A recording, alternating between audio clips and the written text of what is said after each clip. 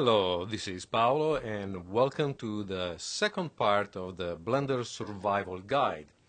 So we're starting where we left off from the previous video. We have our desktop completely customized and it's time now to add the finishing touches. There's one thing that is missing, for example, here is to know exactly what is the point of view of the camera here because this is a top view and this is a side view but we don't have any indication of that. So let me show you how we customize the preferences in Blender. Now pay attention to this area here. It's called user preferences. At first it looks like it's a normal menu, like what you expect in any application. Well, so why it's called user preferences? Well, here is the secret. If you move the mouse in the area here where I have it and click and drag down, it turns out that this is just another Blender window with a header at the bottom which technically should be called a footer but you see that is in fact a header so what you thought it was a menu in reality is a window that is being collapsed to just show the header and that window with the information icon here is in reality the user preferences panel. Now there are a few important configuration options that we can change here. Let me start. View name. If you click on view name, pay attention to this area here and this area here and this window here. If I click view name, say if I toggle now we see this is the top view, this is the right view, and this is the camera view. Ortho means orthogonal, and persp, of course, means perspective. So in this way, Blender tells us that we are looking at the right side view, and this is orthogonal, which is generally the preferred way of looking at your scene. It makes easier to align objects together. But then we do want to have a camera point of view and that has to be in the perspective view so that it gives us the correct point of view of the scene how it will be correctly rendered. So view name should be selected. Okay then we leave this stuff alone.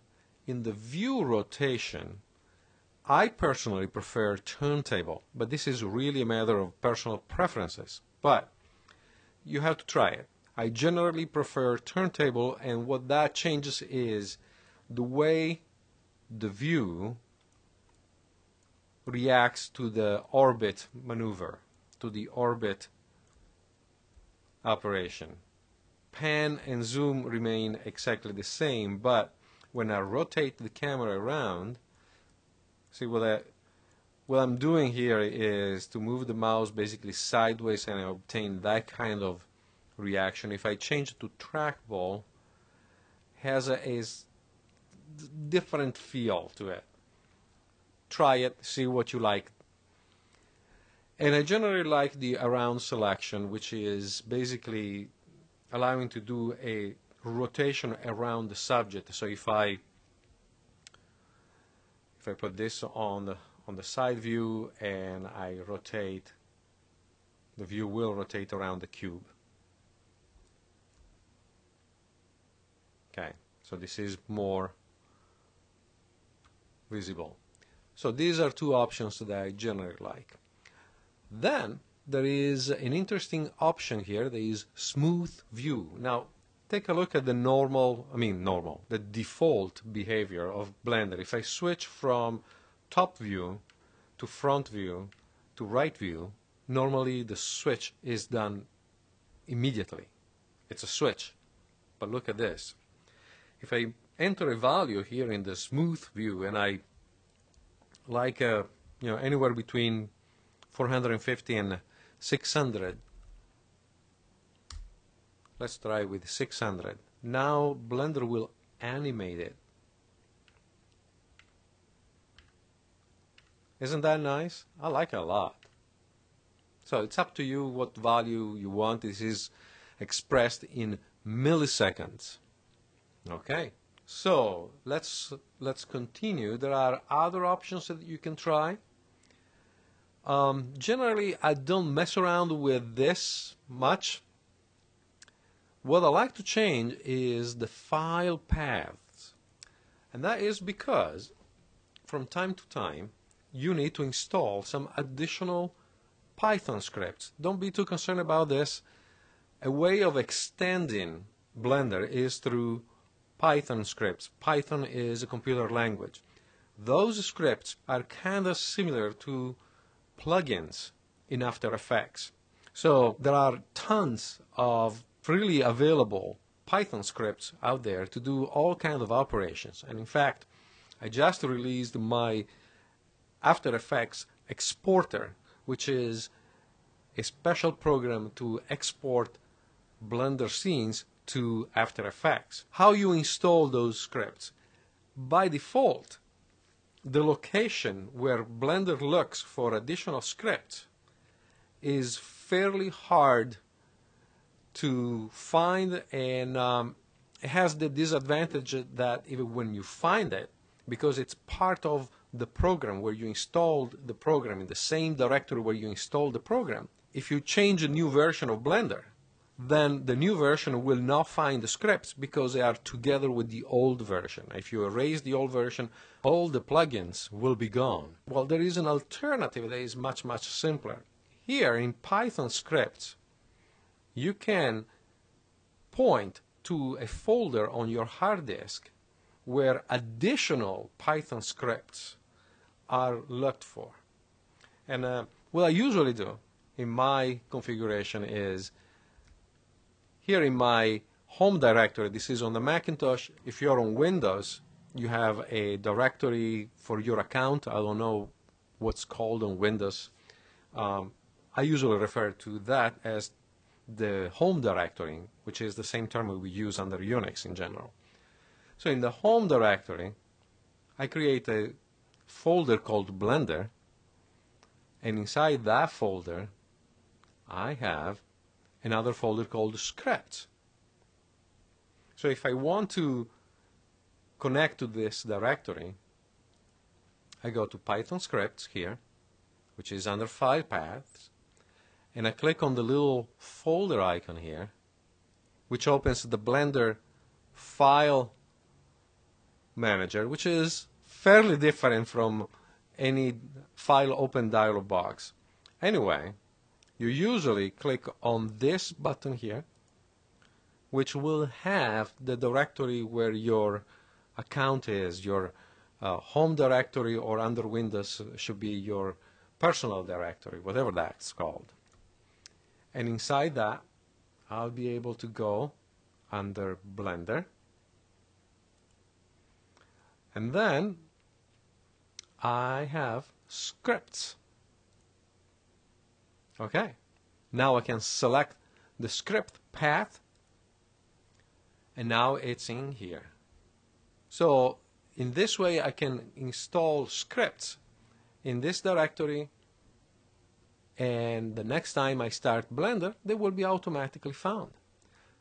Alright, so let's click on this, bring it up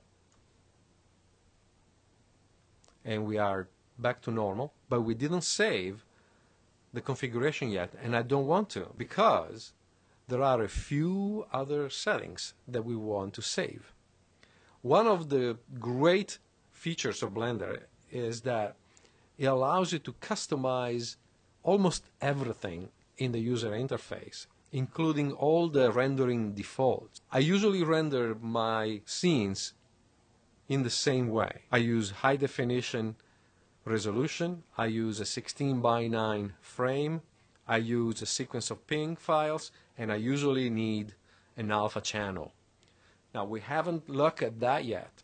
But if you look in the buttons window here, you'll see that we have a few different buttons for different parts of the operations that you perform in Blender. Now, for example, shading refers to materials. Now we have the default cube selected, and so we have a material that is uh, connected to that cube.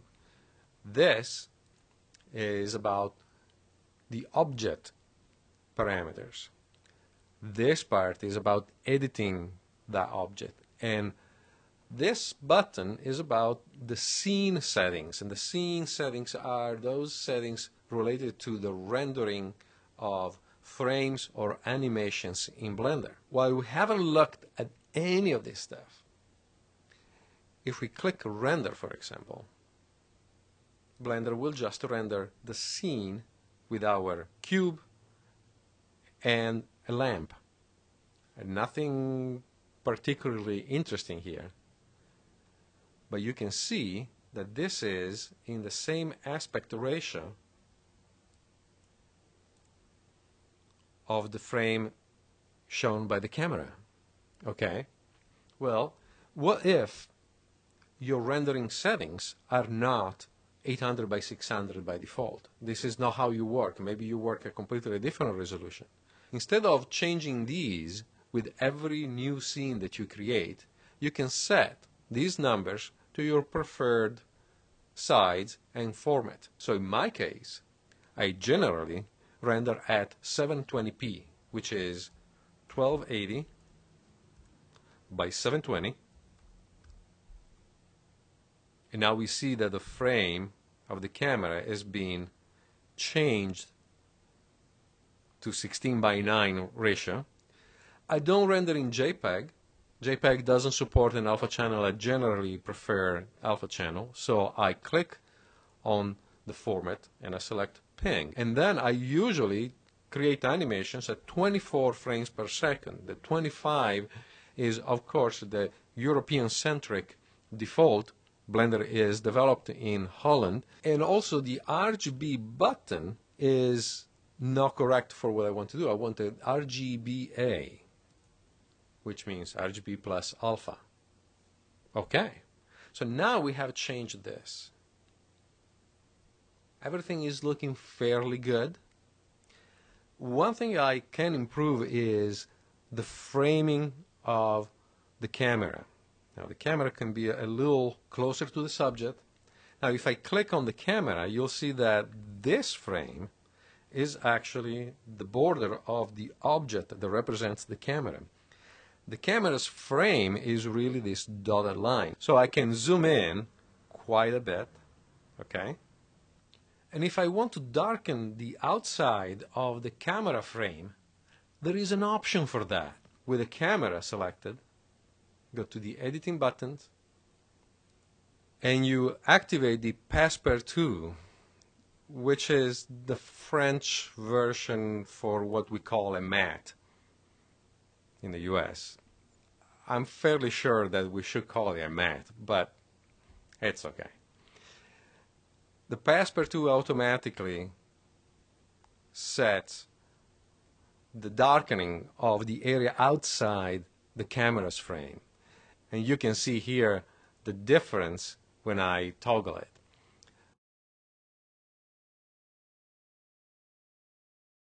The alpha is determining how much darker the area is. So this is really up to you. I think you know, setting around 40% is generally good for me. Now we can do the last adjustments. We have everything in the right position. Our frame number is set at 1. Our scene settings are correct and save. Now we are ready to go. This is the environment that we want to start with. Of course, you might have different preferences, but at least you know now the procedure. I invite you to explore this area and uh, try a couple of more configurations. There is a full documentation of this at the blender.org website. Search for the user's manual and you'll find a full description of every single option. Okay, this is enough for part two. Let's close at this point and I'll meet you again with part three of the Blender Survival Guide.